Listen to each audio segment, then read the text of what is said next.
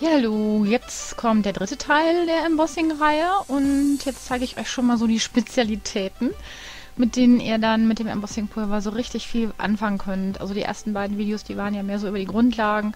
So, ähm, dabei zeige ich euch auch gleich, wie man einen Stempel reinigt, nämlich hier mit solchen feuchten Tüchern. Ich habe euch das auch nochmal genau aufgeschrieben. Ähm, feuchte Tücher, Glasreiniger, einfach je nachdem, äh, wie hartnäckig die Stempelfarbe ist, ähm, einfach nur mit Wasser, mit einem angefeuchteten Tuch, einem Schwammtuch oder man kann auch mit Fensterreiniger die permanenteren Farben reinigen und dann auf jeden Fall hinterher abtrocknen. Ja, hier in dem Fall mache ich das mit einem alten Frotteetuch. Man kann ja immer das gleiche nehmen, dann auch wieder waschen und das wird schon mal fleckig, je nach Stempelfarbe. Es ist halt wichtig, dass der Stempel dann auch trocken ist, ähm, damit ihr euch nicht mit einem feuchten Stempel dann das Stempelkissen äh, verunreinigt. Ne? So, und jetzt hier in dem Fall äh, stempel ich mit einem speziellen Embossing-Stempelkissen. Da hatte ich ja in der zweiten Folge schon von erzählt, dass ich euch das jetzt zeigen will. Ich mache das jetzt wirklich mal ganz neu auf. Ja. Äh, die Firma ist jetzt wurscht egal, weil die Dinger sind eigentlich von jeder Firma gleich. Das ist so ein, so ein Schwamm, wieder so ein weicher, der übersteht, ja, wie ich im ersten Teil erzählt habe. Ähm, alle Motivstempelkissen stehen etwas über, damit man jeden beliebig großen Stempel damit einfärben kann. So, und diese Embossing-Stempelkissen, da ist eine ganz klare, durchsichtige Flüssigkeit drin die noch länger trocknet als eine Pigmentstempelfarbe. Und äh, daran bleibt der, äh, das Stempelpulver noch länger hängen. Das ist ganz praktisch. Dann muss man sich wirklich überhaupt nicht beeilen und kann sich ganz viel Zeit lassen. Und um jetzt wieder den Effekt der verschiedenen Pulver zu zeigen, mache ich jetzt hier wieder zwei verschiedene Pulver drüber. Einmal das durchsichtige Pulver und dann ein silbernes Metallicpulver, ein glänzendes Pulver.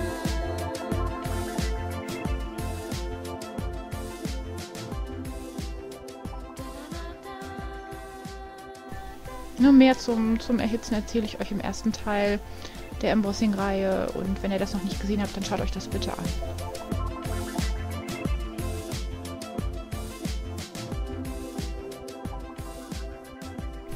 So, und hier sieht man wieder, ne, dass rechts das äh, silberne Pulver den Abdruck abgedeckt hat und links das klare Pulver auf dem klaren Abdruck ist eigentlich fast äh, unsichtbar, hat aber äh, einen Effekt, den ich euch dann in weiteren Videos zeigen werde.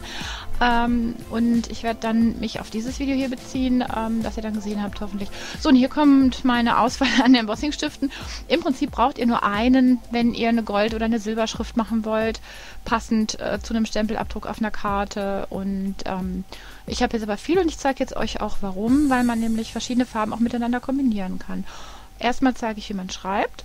Und dafür haben diese speziellen Stifte meistens zwei, also eigentlich immer zwei Spitzen, eine schmale Spitze und hier diese breite äh, Spitze, die ist wie eine Bandzugfeder aufgebaut. Die hat ähm, die Form, sodass man so eine Kalligrafie-Schrift damit machen kann. Und auch hier werde ich wieder zwei Pulver verwenden, um euch den Unterschied äh, der Wirkung zu zeigen, weil man braucht für diese Silber- oder Goldpulver, die ja deckend sind, wie ich im zweiten Video erklärt habe, nur einen Stift, denn egal mit welcher Farbe man drunter geschrieben hat, wird es immer silbern. Und damit ihr seht, dass ich auch einen bunten, äh, eine bunte Schrift machen kann, kommt dann das durchsichtige Pulver drüber. Hier nochmal ohne Schmelzen, ja, vor dem Schmelzen. Es muss hier geschmolzen werden, wie ich euch erklärt habe.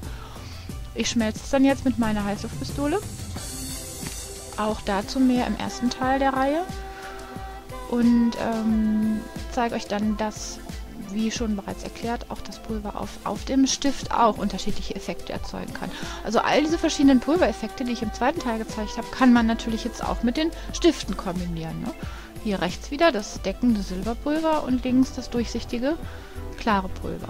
Aber der Abdruck ist jetzt so ein bisschen erhöht. Ja, sieht man jetzt sehr gut. Erhöht und glänzend. Ja,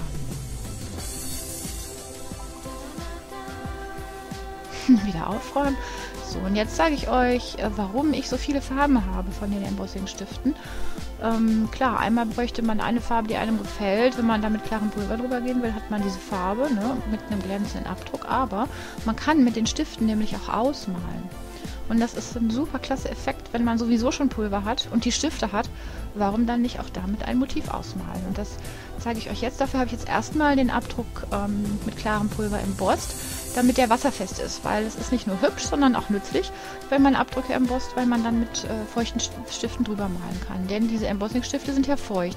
Die bleiben lange feucht. So, und jetzt gehe ich, um einen, Farb, einen Farbverlauf zu erzeugen, erst mit einer dunklen Farbe an den unteren Teil des Motivs und vermale dann mit der helleren Farbe, hier mit dem Gelb.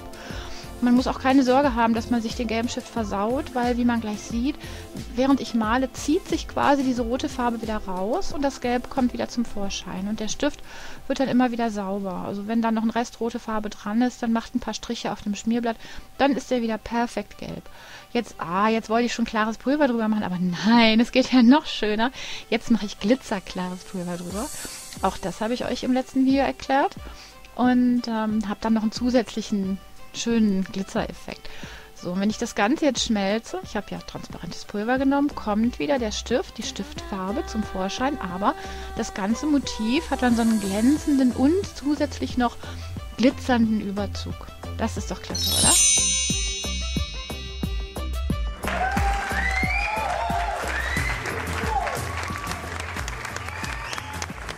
Ja, und außerdem ist es wasserfest und sieht so ein bisschen, ja, lackiert aus. Ja, ich habe euch lieb.